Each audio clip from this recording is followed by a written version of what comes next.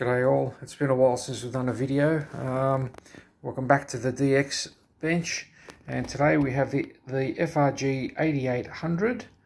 Um, I just managed to get it, bring it back to life. I was suffering a lot from um, the flashing screen of death, which is a, uh, a common common problem which I, I stumbled across when doing some research into the repair of this receiver um, and in essence the PLL not not uh, not locking and you get it flashing and you can't control none of the buttons work or anything.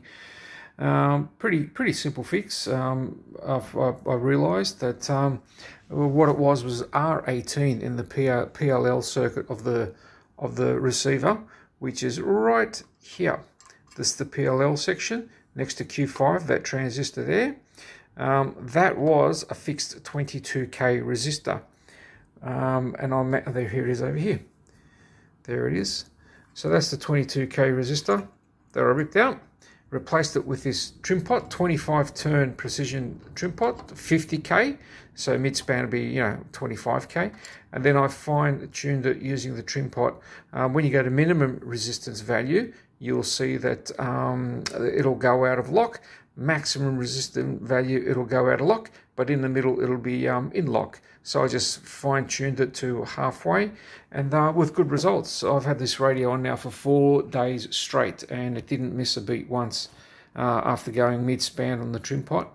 And um, before that after 20 minutes it would just go out of lock and start flashing. So um, yeah I, I, I, take that as a win. Uh, to get to it uh, it's pretty simple. Just have to take off this uh, this corner connector here which you'll see and then underneath this top board here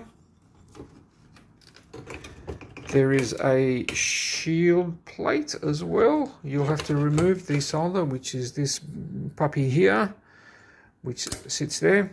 So you have to desolder that to get to the, uh, the circuit board components and just yeah replace that R18 and um, replace it with that 50k trim pot. The other mod I did to it I wouldn't call it a mod but um, uh, facelift, I suppose, is I also replaced the aging um, lamps that were in the display. They were pretty pretty old and tired lamps, as you can imagine. So I replaced the old. Where are they? Here they are. Here actually. There they are. These are the original uh, lamps. There's four of them, little green ones. Um, yeah, very faint and weren't doing a good job at all. And I replaced it with some um, LEDs, uh, 6500 MCD LEDs actually, green ones. And um, they are there.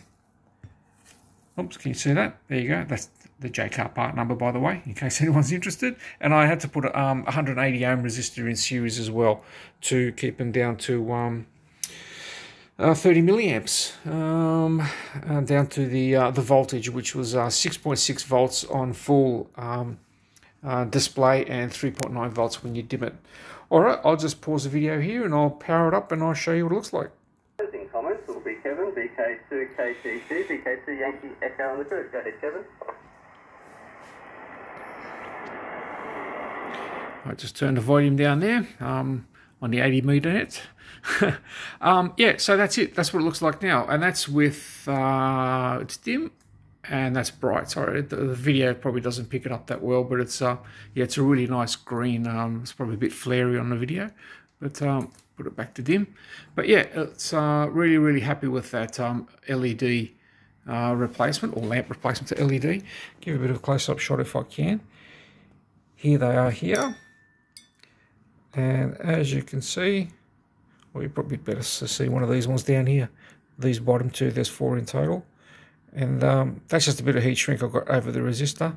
And they're quite simple. You find out which is, you know, the positive, the negative, and away you go.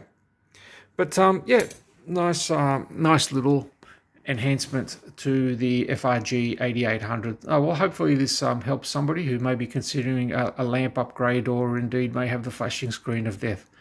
All right, guys. Cheers.